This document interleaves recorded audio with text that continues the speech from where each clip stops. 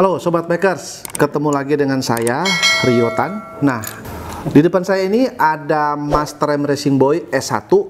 Nah, kalau kemarin kita sudah sempat review breaker, ada sport rim. Nah, kali ini ada request atau kita mau coba bahas tentang Master M.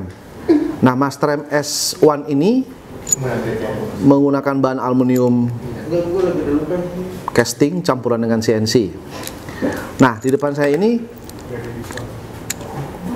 untuk Master MS1 ini kita ada dua tipe sebenarnya untuk teman-teman bikers.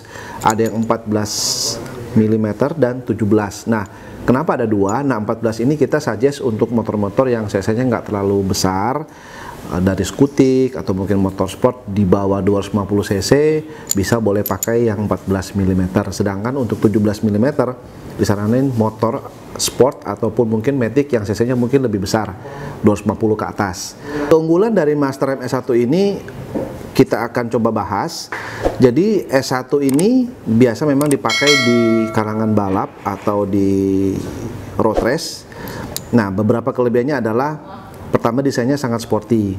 Kedua banyak diadopsi karena dia sering pakai di balap. Jadi memang dibikin seperti kita lihat handle-nya ini bisa uh, menekuk. Jadi saat kalau sobat bikers terjatuh ataupun ada crash, handle ini nggak langsung patah dia bisa menekuk. Nah, kalau sobat bikers lihat juga, kenapa di ujung ini ada seperti tanda ini?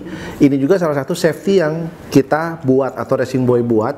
Jadi ketika handle ini jatuh menekuk dan kalaupun uh, beban yang itu diterima masih besar, dia akan patah tapi tidak semuanya, jadi hanya di ujung. Jadi sobat bikers atau RCB lover masih bisa pakai atau menggunakan nanti mungkin bisa mengganti handle dengan yang tipe lain atau mengganti handle dari uh, repair kit dari uh, Master M ini.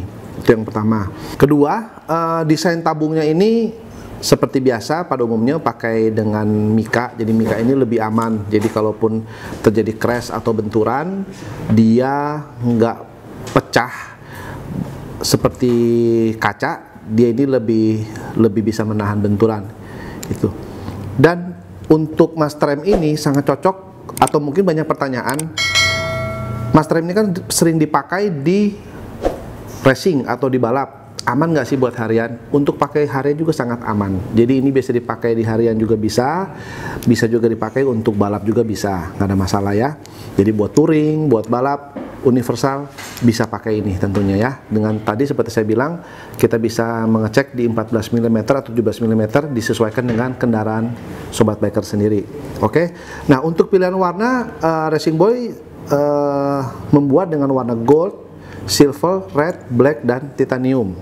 Nah, sobat bikers, untuk masalah harga ini juga masih sangat relatif terjangkau. Dengan harga 800 ribuan, sobat bikers bisa langsung datang ke toko-toko variasi yang terdekat di tempat sobat bikers tinggal atau berada.